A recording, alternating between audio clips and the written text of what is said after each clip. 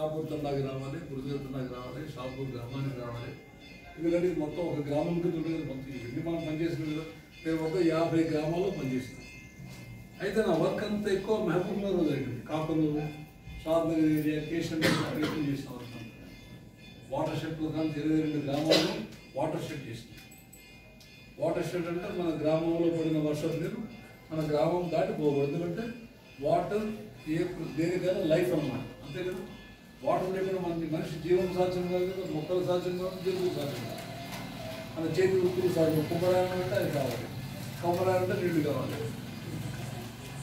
కాబట్టి మనకి పడే నీటిని ఎట్లా మనం ప్రొటెక్ట్ చేసుకుంటాం? బయటికి పోకుండా కట్టడి చేసుకుంటాం. అమ్మ నేను ఐదు వందల మందిని తీసుకుపోయింది ఐదు వందల మంది లాలిగావ్ సిద్ధి తీసుకెళ్ళి అన్నహాదార్ వరకు చూపించిన ఏం చేసిండు ఆయన ఆయన సిద్ధాంతాలు చెప్తాను మీకు ఆయన మూడు పాయింట్లు చెప్తాడు. గ్రామములో పడిన వర్షపు నీరు గ్రామము పొలి మీద దాడిపోదు. ఎంత వర్షం పడినా ఆగిపోయేస్తారు అంతే. ఇప్పుడేమో మీ జాగ్రత్త అబ్జర్వ్ చేస్తే మనల్ని వర్షం నీరు మన ఊళ్ళో పడింది మొత్తం కూడా బయటకు వెళ్ళిపోతూ ఉంటుంది. ఏది బాగులు వంకలు పోయి అలా అలా నదులో పడి వెళ్ళిపోతుంది ఇంకా. నీకు ఎంత వర్షం పడినా నీకు ఉపయోగం తెచ్చేవారు అత్యధిక వర్షపాతం పడేది భారతదేశంలో ఎక్కడ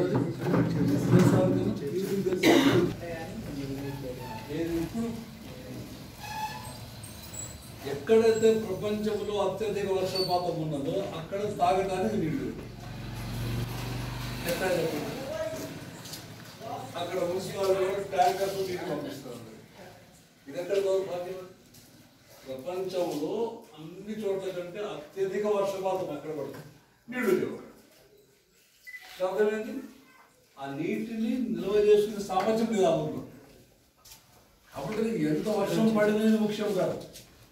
నీకు ఎంత కెపాసిటీ ఉందో ఆ నీటిని పట్టుకొని అది అన్నహాదారం చేసింది. ఇప్పుడు మన దగ్గర పడే వర్షం దాదాపుగా ఐదు వందల యాభై మిల్లీమీటర్ల వర్షం పడుతుంది ఇక్కడ. గ్రామంలో సంపద గ్రామంలో ఉండాలి. గ్రామం దాటిపోతున్నాం సంపద వేస్ట్గా బయటికి మీ ఊర్లోంచి సంపద మీ ఊర్లో ఉంటుందా బయటికి పోతుందా చెప్పాలి మీరు. మీ ఊర్లో సంపద ఉన్నది కదా డబ్బులు ఉన్నాయి కదా. అది మీ గ్రామంలోనే భద్రంగా ఉంటుందా ఎవడో దోచుకుపోతుందా? బయటికి కూడా బయటికి పోతుందా మీ సంపద ఉంటుంది ఎంత పోతుంది. రోజు పట్టు తోముకుంటారా? తోముకుంటారా? గట్టిగా చెప్పండి. తోముకుంటాము తోముకోము. తోముకుంటారో తెలుసు నాకు ఎందుకంటే ఇట్లా దగ్గర కూర్చోలేదు లేకపోతే. ఏదో పేస్ట్ కాలు పెడతారు. అంటే మీ గ్రామంలో అయ్యా మీకు సవాల్ ఇది.